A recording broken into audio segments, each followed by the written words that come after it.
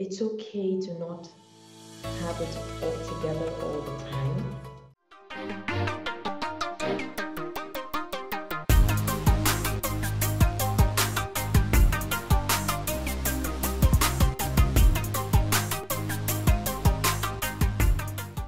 On this episode of Women Who Hustle, we sit down with one of Africa's most powerful voices, Arit Okpo. Her love for the African narrative has opened opportunities for others to share their stories. For those who might not know who you are, you know, just give us a little bit of background. First, my name is Arit. I am, um, when, whenever I'm asked to introduce myself, I always start like this. Um, a TV, TV host, I'm a documentary filmmaker, and I'm a voiceover talent. Um, I actually moved to, I, I started the process of moving to Nairobi just a couple of years ago, um, partly because I was excited about exploring the world outside of um, my very Nigeria-centric experience. And I, I think I'm still very attached to the continent. So I like the idea of being here. And um, Nairobi coincided very beautifully with then starting work at African Voices. And so it seemed like the perfect opportunity, given the flexibility I have, to right. be able to um, make my home here. Tell us a bit of, about your background in terms of, you know, how you got to be in, in, in journalism. And, um, you know, maybe for some young girl out there who's listening, and who's inspired by a story, you know, who might want to follow the same path as you? I think that my biggest lessons about my journey have been in the entire unexpectedness of it. Right. Um, I studied biochemistry. Wow. And uh, yes, I studied biochemistry. And um, when I graduated, I wasn't really sure that this was how I would want to proceed. But mm-hmm. I went ahead and registered for my master's anyway. And then mm-hmm. while I was waiting for admission, uh, my friend's mom calls me and she says, You've got a few months before you go back to school. Um, a friend of mine is opening a school. Uh, so why don't you just come assist her while you wait for your admission? So I, I started uh, working at the school and then found out that I loved school administration. I loved education. I have several people in my family who work in education. Mm-hmm. And so I mm-hmm. thought, you know what, we're going to put this master's on hold for now because, you know, I wasn't really sure at first. And I'm really enjoying this. Right. Uh, a couple of years after that, I went for a reality show. Uh, and it was a debate reality show. Now, I didn't win, mm. but the executive producer remembered me and so three years later, when she was starting uh, her news channel, uh, her. TV channel, EbonyLife TV, um, mm-hmm. and, and she called me and said, you know, I want to start a new show, and I feel very strongly that you would be perfect for it. And this was in 2013. I was at that point, you know, where you feel like I have the opportunity to take several directions right now. Mm-hmm. And it just felt like such a fit, you know, for me. So I said yes. And I moved cities and started working in television.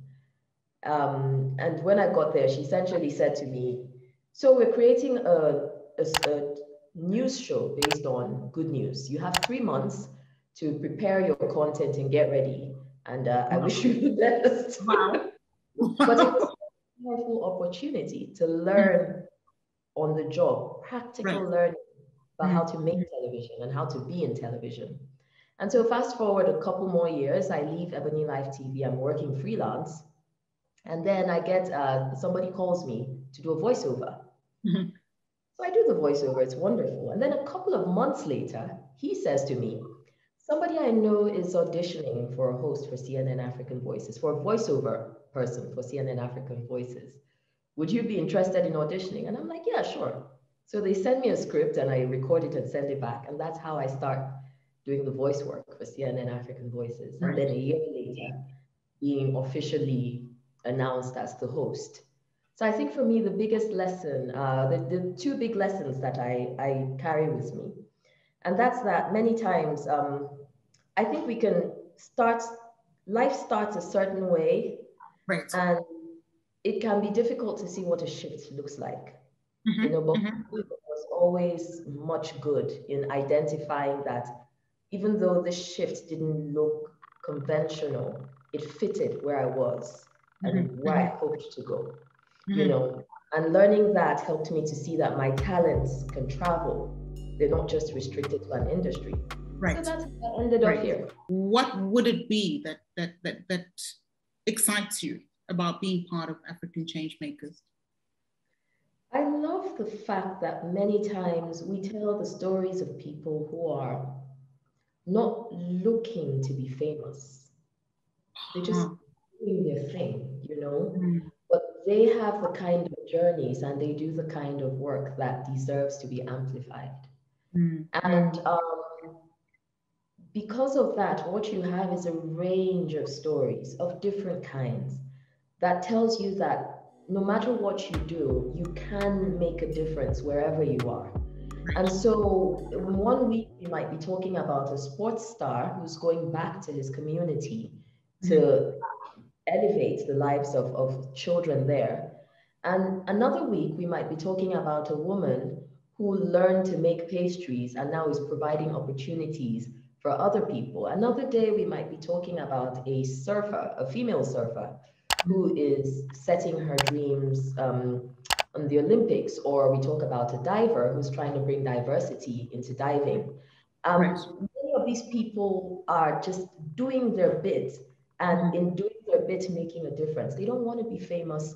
They don't mm-hmm. want to, you know, be splashed on on newspapers and and uh, all of that. Mm-hmm. But they are the they are the stories that deserve to be told. And every time we get to tell one of those stories, I feel such a profound gratitude. How many more stories there are that I don't know.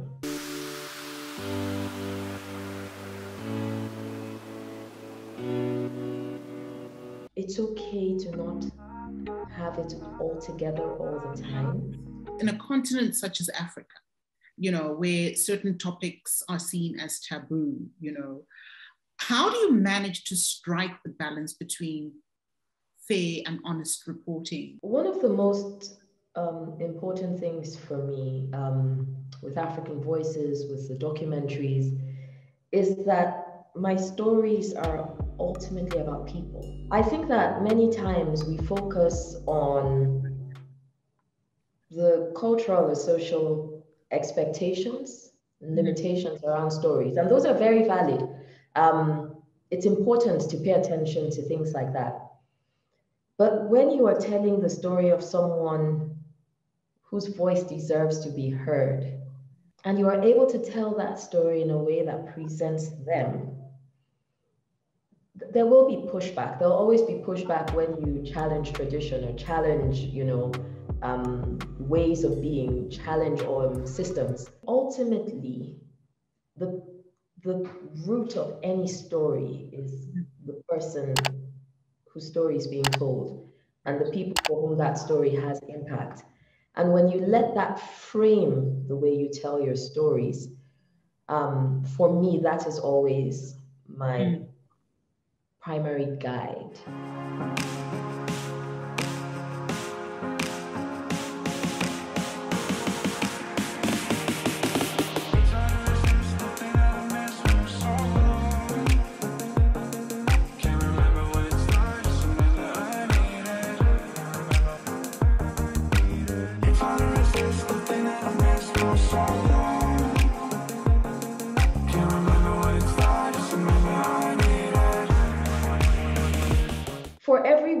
Story that I tell, mm-hmm. for every one story I'm familiar with, mm-hmm. there are hundreds of other stories that may seem similar but are also individual. Right. And there's a trap in thinking that you are the only one who can tell stories and that mm-hmm. you are the only one who knows which stories are, are relevant and you are the only one. There's a bit of a trap there that I'm very aware of. Mm. And doing the work that I do on a platform like CNN has challenged me to be humble mm. and to recognize how many more stories there are that I don't know. how many more perspectives there are that I'm unaware of, how many contexts there are that I need to learn about. So I have become a student, asking mm. myself, what is the thing in this story that I didn't know before? And it's yeah. my passion to continue to engage with African stories, with curiosity, with humanness, with nuance, mm. um, and to learn.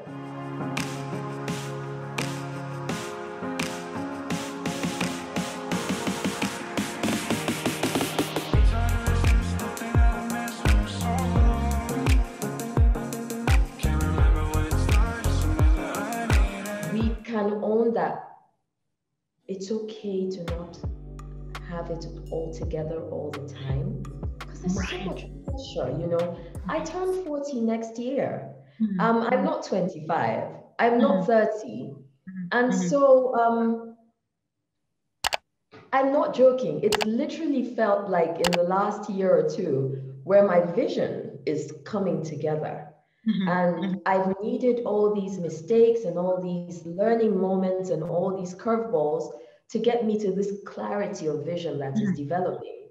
And we have right. women in their early 20s, mid 20s, dealing with society, dealing with cultural expectations, and feeling like they have to have all the answers. Right. For me, the learning is the journey. You mm-hmm. know, the unlearning, the discovering of yourself and understanding what your purpose right. for, your, for your community and, and for the rest of your life is that is the journey. Right. And very committed to being able to say, look, everything I learned, I learned. What I don't know is either not my business or it's in the future for me to learn. Because you know, we say we're not none of us is free until all of us are free.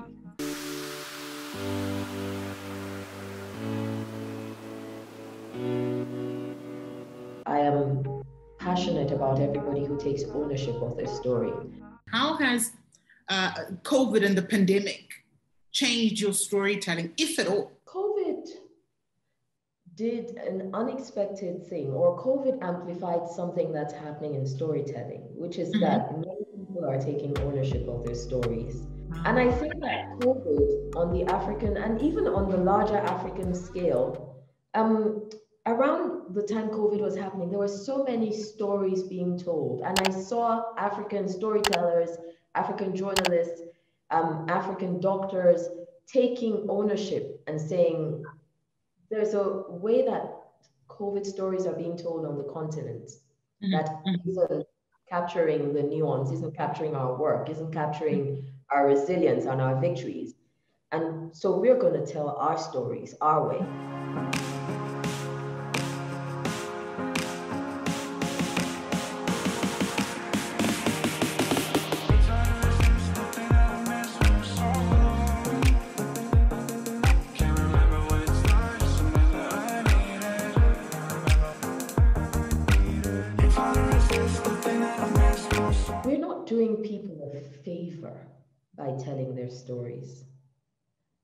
We're providing a platform so that people who have stories can tell them.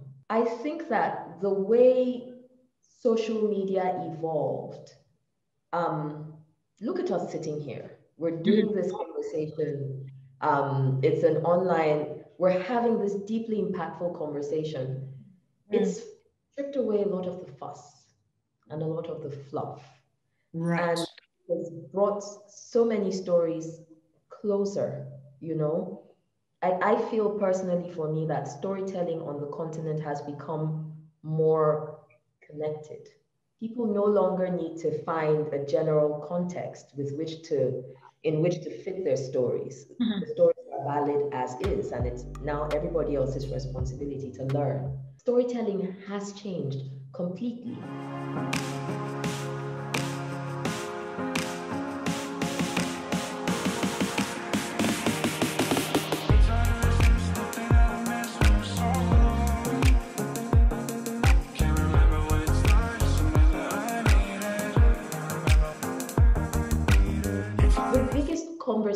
Conversation for me, no, I wouldn't say it's the biggest, but a very important conversation for me is how can we make equality a structural conversation?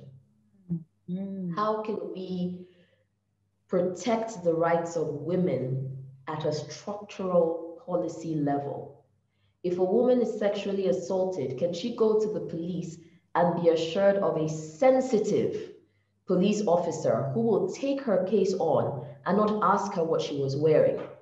Mm. You know, can, can we can we create equality as, uh, so that women can go to a bank and access a loan, so that women can take um, reproductive health decisions that don't require an abusive husband's consent.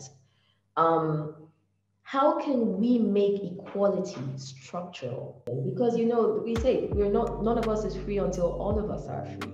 When we tell those stories about women who are success, uh, successful or succeeding in certain spaces, I'm motivated by what it means for the women in their community, right? For the women that they encounter. Um, when I hear about women overcoming odds to, you know, get this achievement or hit this milestone, I am reminded that there are other women who will look at this woman and think this thing is possible. Mm. And so that for me is a very important beacon of, mm. of hope and possibility.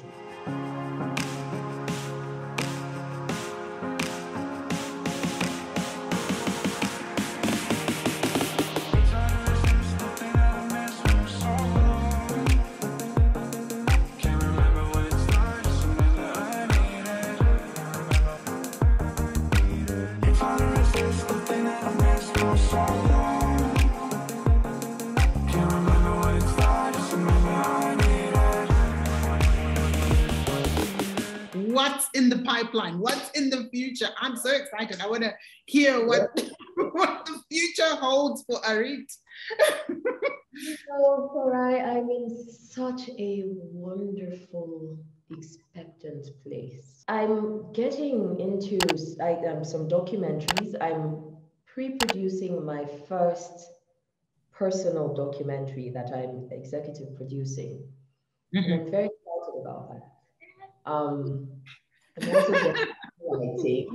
So then hopefully coming out sometime. I told myself I must do these three things before my 40th mm-hmm. birthday next year. And I'm saying it here so that I can be held accountable. I th- those are the things that are that are I'm looking forward to. I'm, I'm looking forward to telling more stories. Um, and so many different stories. Um, telling LGBT stories mm-hmm. or um, telling women's stories, telling, I'm fascinated by these things we call ordinary stories because in my experience, it has been the ordinary moments that many times have later on been that yes you know?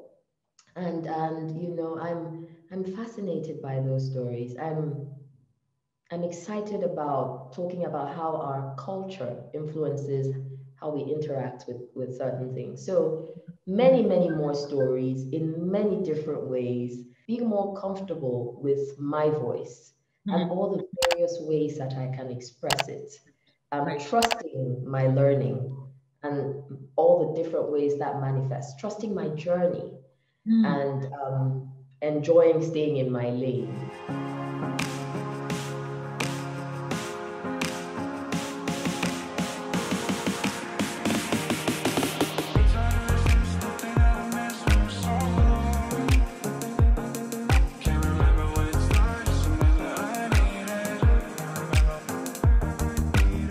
If there's any one thing um, from this conversation, um, if somebody was just to listen to the last two minutes of it, um, what would you want people or someone listening to remember from this interview? Um, I want anybody listening to remember that Africa is not a monolith.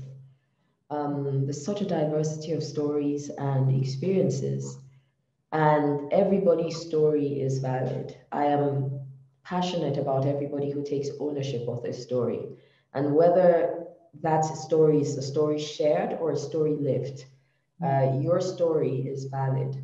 I am challenged by the experiences of women on the continent. I'm very burdened by the challenges, and I'm committed in the work that I do in witnessing, in addressing, in challenging, you know, those issues. And I think that if we all commit to changing the world around us, mm. we can create ripples far bigger than we imagine. Right. And uh, finally, that a big theme for me as an individual is the authenticity of my existence. Mm. Um, that I am a woman who's learning and unlearning and who is finding so much value in being the truth of who I am. Mm-hmm. And so, for women who are watching um, this this channel and these stories are for boss women, I think that a big aspect of bosshood is owning yourself. Um, is identifying the ways that society might challenge you to conform or to bend or to hide, but owning yourself. And like that, um, that quote we all say does so, says so beautifully, that when we shine our light, we give others permission to do the same. And you have no idea who's watching you and thinking, gosh, she's such a boss, boss babe. I want to be just like her. You know, she's fierce. She's not afraid to, to put her foot down, to say no, you know. We are all necessary